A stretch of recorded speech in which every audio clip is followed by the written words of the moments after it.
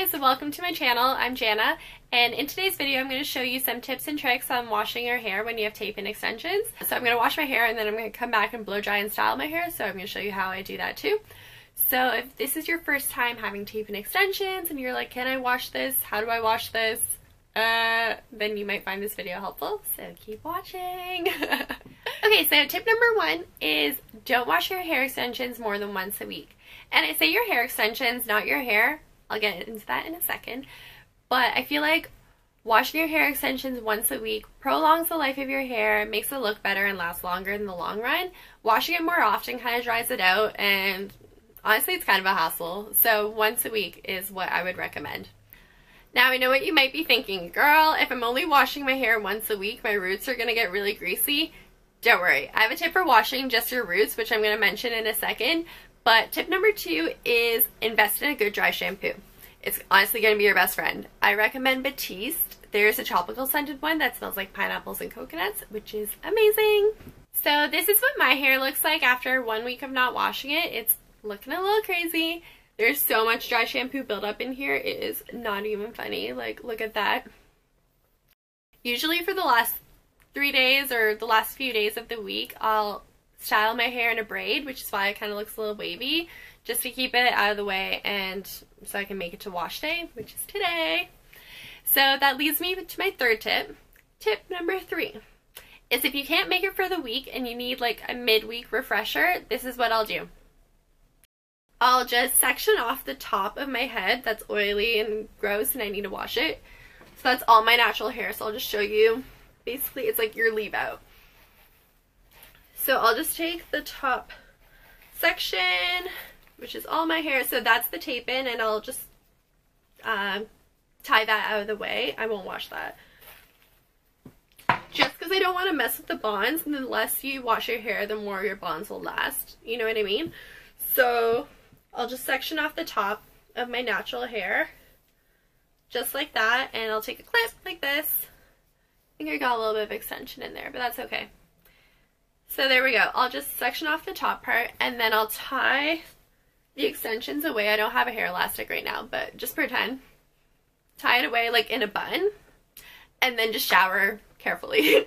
so in the shower I'll just take out the clip and go like this and then just shampoo and condition, tie it up, let the conditioner sit in there for a little bit, and then rinse out the conditioner. And then when I come out, I'll just blow dry the top part. And then you'll feel so much better and you won't have to touch your hair and it's just like a midweek refresher. You'll feel so good and your hair will look better. And then you're not messing up with the, your bonds or your extensions. That's because when you wash your hair, your hair gets heavier and it'll start to pull on the bonds, making them slip a little bit. And that goes, that's the same case with any kind of extensions. As soon as your hair is wet, it'll start to pull on the bonds, making your tape-in slip, your fusion slip, your micro links, your sew-in. As soon as that extra weight is there, it'll kind of weaken the bond, which we don't want, which is why we wash your hair extensions once a week, because the less you wash your hair, the less your bonds will slip, and the longer your hair will last, which is what we want. So that leads me to how I actually wash my hair in the shower. So washing your hair when you have tape-in extensions or extensions in general is not that much different than washing your hair when you don't have them. You just have to be a bit more careful. So typically I'll go in the shower, wet my hair, shampoo my roots, and, you know, give it a good scrub because you probably have a lot of product buildup if you're not washing your hair more than once a week. So give it a good scrub and scrub between the bonds as well. Just don't like go crazy because then you're going to cause tangling and matting. So just be gentle and so wash your hair two, three times.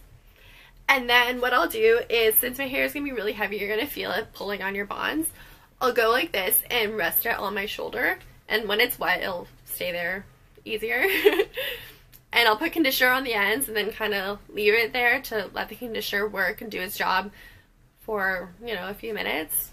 Wash up, rinse out the conditioner and rinse it out really good. Make sure you do a really good rinse because especially between the bonds, you don't want shampoo buildup and stuff like that. Give it a good rinse and then you're done, pretty much. So as far as shampoos and conditioners go, you want to pick products that are sulfate free and don't use a shampoo that's a volumizing shampoo because that's going to add lift to your roots and mess up with your bonds.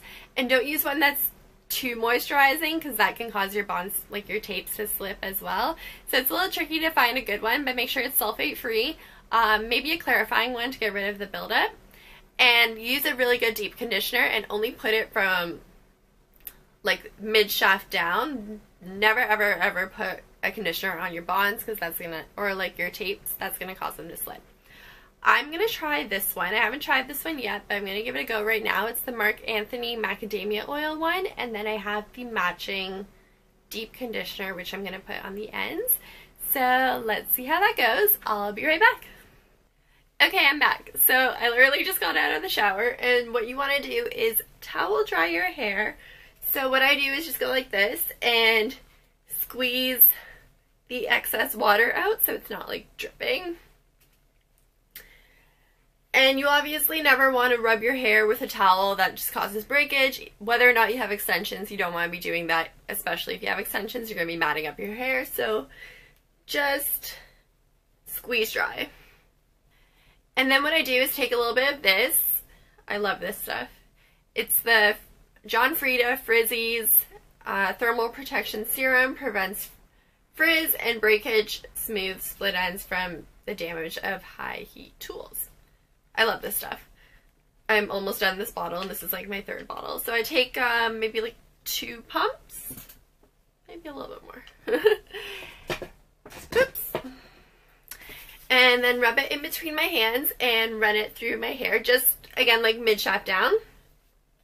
Focus more on the ends and just run that through. So this is going to be my heat protection um, to protect me from the blow dryer. And then I take a wide tooth comb and then gently comb through my hair. And I forgot to mention that before you go and shampoo your hair that you should really brush it. Like make sure that it's tangle free before you go and put water on it because otherwise it's going to be a nightmare. And it'll just make your life so much easier if you brush your hair before you shampoo it. So I'm just kind of starting at the bottom and then working my way up. So as soon as the bottom part is tangle free, you go up a little higher and work out the tangles and then make your way down again and then go back up and work out the tangles at the top until all your hair is tangle free. And I also like to hold my hair as I'm brushing it so that it's not pulling right from the tapes or the bonds at the top. It's pulling from where I'm holding my hair, if that makes sense. So you're never going to be yanking at your bonds or your tapes. So now that my hair is relatively tangle free, I'm just going to go through it with a blow dryer really quick. And you want to make sure your bonds are pretty dry, but don't put like direct heat on them. Just kind of, you'll see.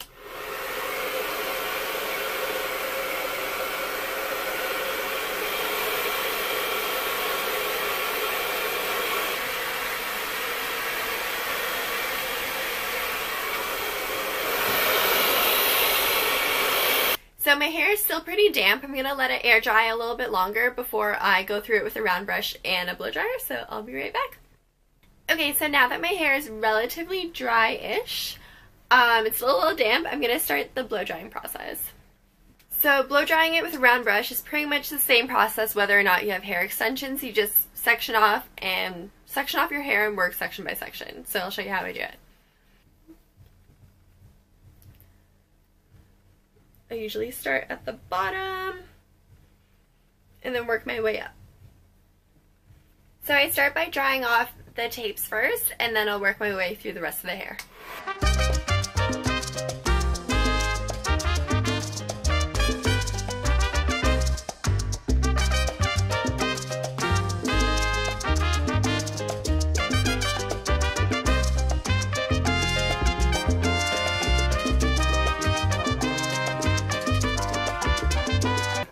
This is what my hair looks like after I blow dried it.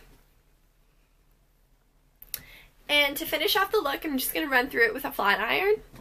I'm going to put a little bit more of this in my hair to protect it. And that, that also acts as like, um, kind of like a shine serum, which is kind of nice. So just put that on the ends. And it smells good. And then I'm going to brush it through.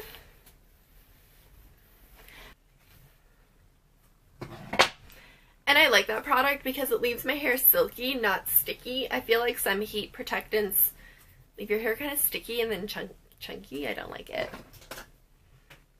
Guys, I forgot my normal size flat iron, so I have to use this dinky travel size one. We'll make do. It'll work just fine.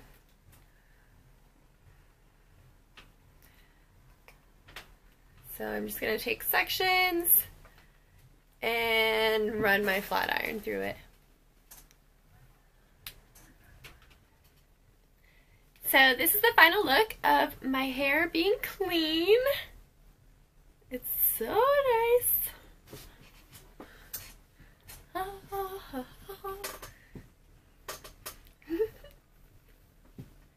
So that pretty much wraps up my video. I hope you found it helpful if you were looking for advice on how to wash or style your hair with tape and extensions. If you have any questions at all, please comment below and I'll reply to your comments.